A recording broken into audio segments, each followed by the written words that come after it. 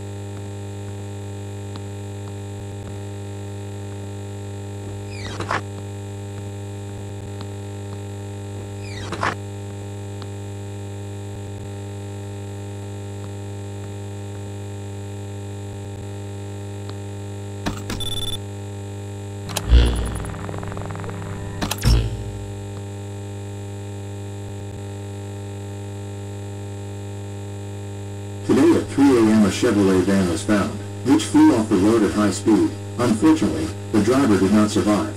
During the audit, it was found that the man who was driving was in a state of intoxication.